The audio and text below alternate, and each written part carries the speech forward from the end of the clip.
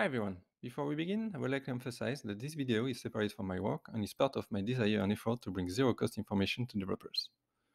Today I will try to give you a quick overview of what platforms are with Bazel. So basically, platforms are used by Bazel to describe the environment within the build process.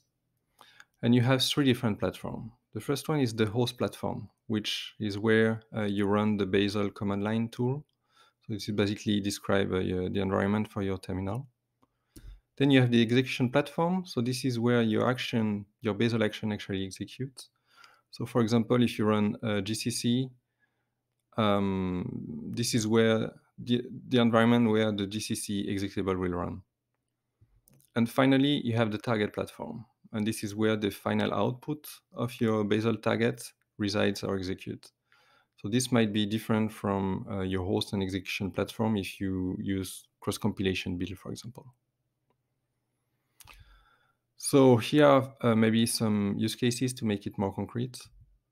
Um, so in a single platform build, which is what uh, most of the people will use with Bazel, the host and execution and target platform are the same.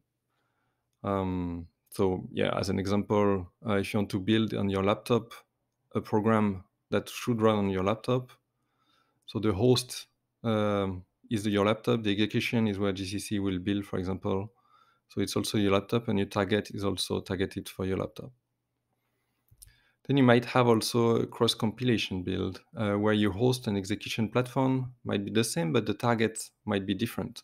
So this can happen, for example, if you want to build um, from your laptop to a Raspberry Pi.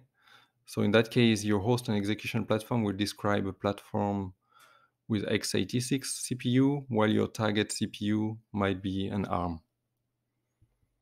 You might have also uh, product variants uh, in your code base. Um, let's say you have a source code that you want to, and you want to generate executable for two different uh, glibc versions. In that case, your target platform uh, might embed this uh, variation. So the target platform, you might have two of them, one that describes a certain um, glibc version and the other one another one.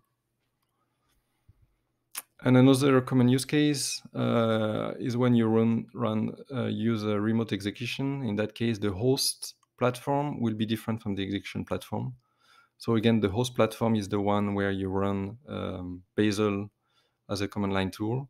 The execution one platform will be it could be an Amazon server, maybe on the cloud, where you run your actual GCC um, compiler and the targets might be the same as the host, might be different depending whether you use cross compilation or product variants. So another important notion that goes together with platforms is constraints. And you can see constraints basically as, uh, or platform as a collection of constraints.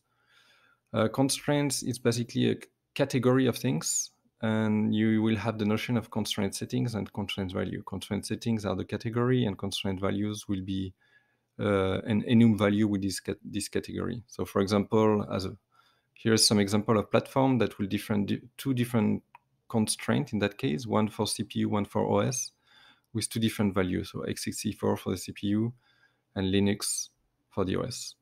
It can be your platform can also describe um, some runtime constraints, for example, like and this will affect this could affect your build uh, graph with Bazel and could affect uh, the option, the compilation option your compiler will output.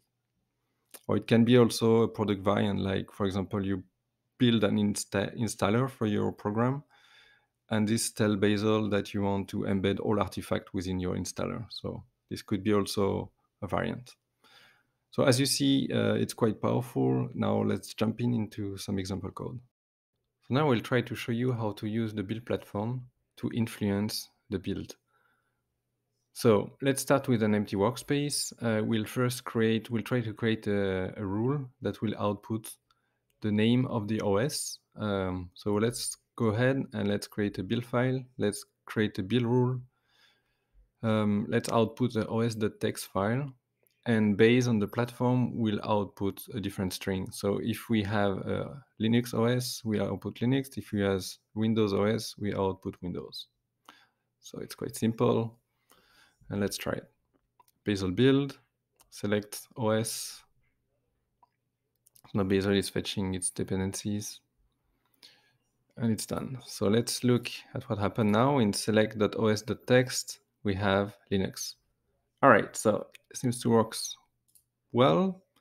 Now the other thing we can do with platform is to use something called, called um, target compatible with.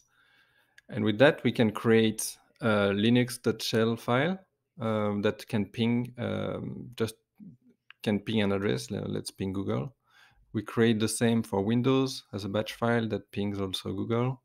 And we'll try to create two rules that are um, compatible with their uh, given platform. So let's go ahead, let's create a build file. Let's create a shell test that wraps uh, the Linux script. And we use this target compatible with um, to match it with the OS Linux. Uh, we do the same uh, for Windows. And this means that uh, when we try to test anything within this project uh, on a Linux platform, all the ones that are marked as target compatible with Windows will be skipped. So this is called the uh, automatic uh, target skipping from Bazel.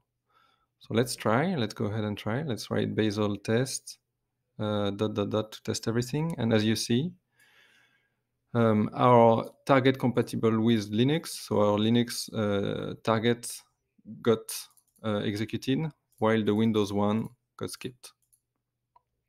So now let's try to execute manually the Windows one to try to see what happened.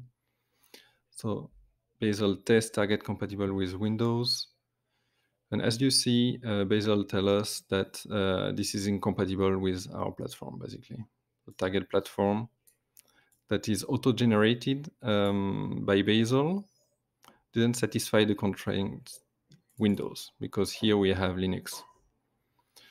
All right, so another thing we can do is to uh, create our own platform. So we'll try to create a platform that um, that force Bazel to think that we're running on a Windows machine, even though I'm running on a Linux machine.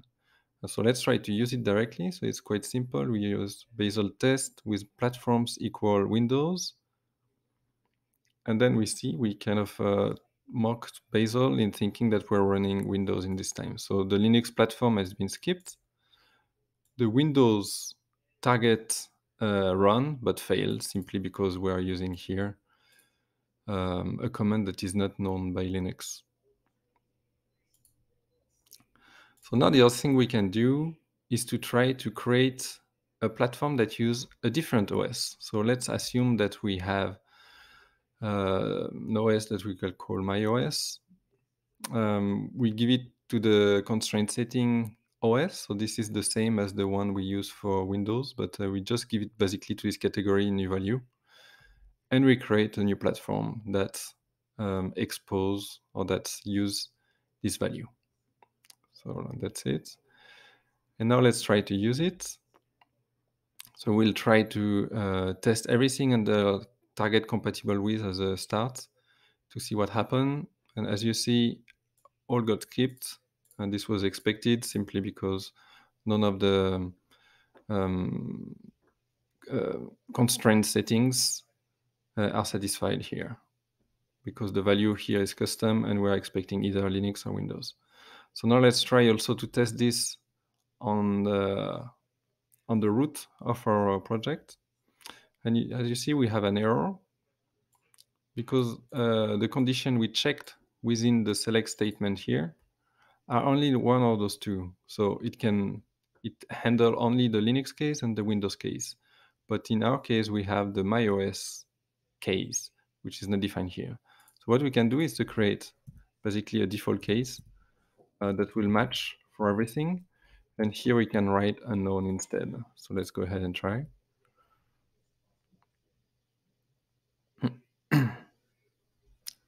All right, that seems to work. At least it passed. And now we can check in select which OS has been written. And the value is unknown as expected. So I hope uh, this demonstrated the use of the Bazel uh, platforms. I hope you find it useful. And if so, please subscribe.